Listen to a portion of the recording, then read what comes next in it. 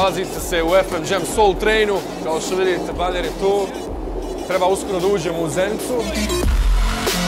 Kada smo ja i ekipe iz FM Jama razgovarali o, dokumentaciji, tom filmu 15 godina hip-hopa u BiH, nekako došao na ideju da bi zapravo bilo zanimljivo da imamo jedan naš voz kojim putujemo Bosnom i Hercegovinom.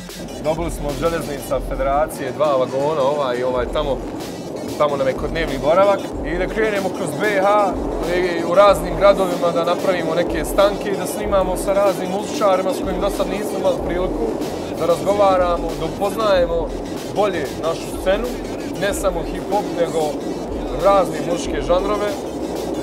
Ovdje smo postavili set od DJ Sola. Sinoć smo imali mali dernek ovdje u vagonu.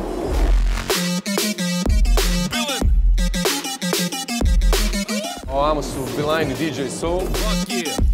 Nešto čačkaju. To nam je studio, ovdje ćemo večeras da snimimo nešto.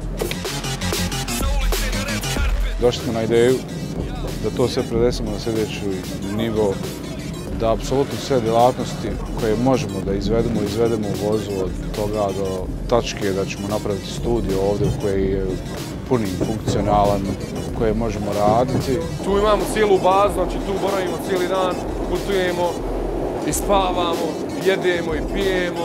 U jednom malom, skučenom prostoru, toliki broj umjetnika, nekih različitih energija, putovanja kroz Bosnu, različiti gradovi u kratkom periodu, mislim smo putovali nekih pet dana, zaista je bilo intenzivan uzbudljiv proces i nekako mislim da, kada smo došli do kraja zapravo da, da je tad možda bilo najuzbudljivije, ali eto morali smo i u jednom trenutku završiti. Tako da eto kada se prisjetim ovaj, samog snimanja, ovaj, mislim da, je ta atmosfera voza i to putovanje zaista bilo jedno uzbudljivo iskustvo.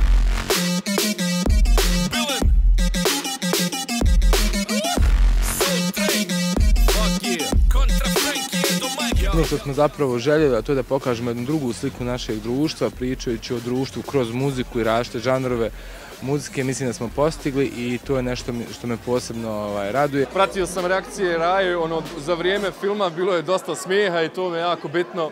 Ljudi su prepoznali naš humor i naše fazone, tako da, ono, uspjeh, rekao bi uspjeh.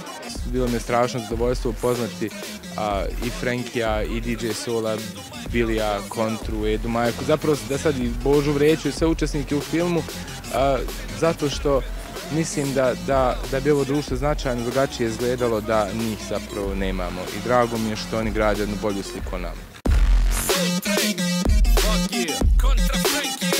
Yo, yo, yo.